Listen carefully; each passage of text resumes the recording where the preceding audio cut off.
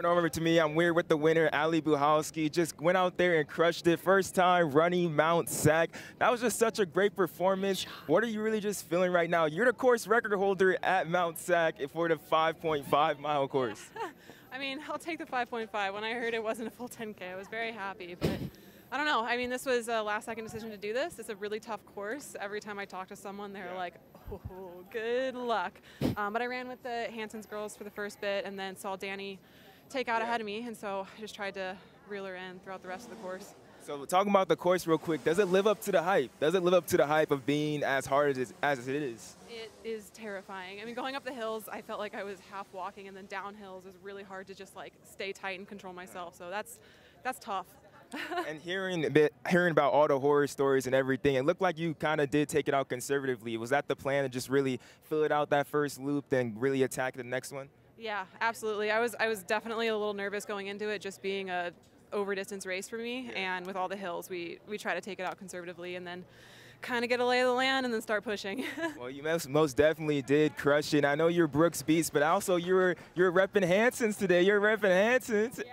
And it, so how did it feel to just rep with the new team Hanson's as they're going to come in for an interview as well? How was it was to rep with them as well? Yeah, they're great. I actually called their coach when I decided to come down and was like, hey, can I get a ride and like just be an honorary Hanson's for the week? So it's a really great group of girls, and I liked being like kind of part of a team, even though it's a different kit. I still yeah, feel yeah. very much a part of them. Yeah, that's so good. But we're gonna get the the Hansons to come on as well real quick. We got Amy Olivia Pratt and everything.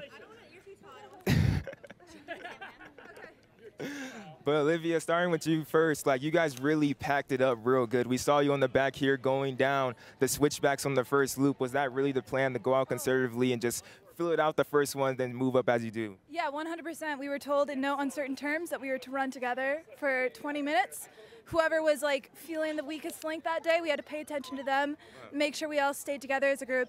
So we were actually like talking to each other a lot and communicating with each other.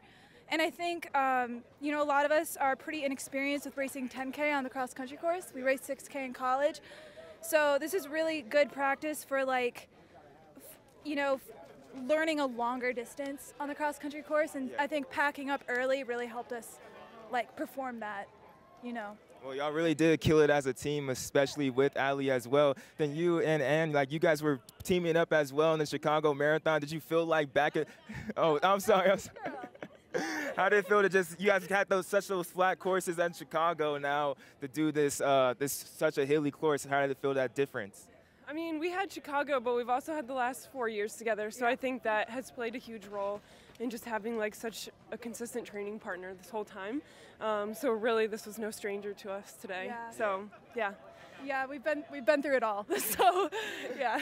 Then I have to ask you two as well. Like just I asked Allie, but did the horror stories of Mount Sac live up to the hype? Did it live up to the hype? Should people come out here and do this next year if it isn't if it's going on? But like I bet it was a fun race.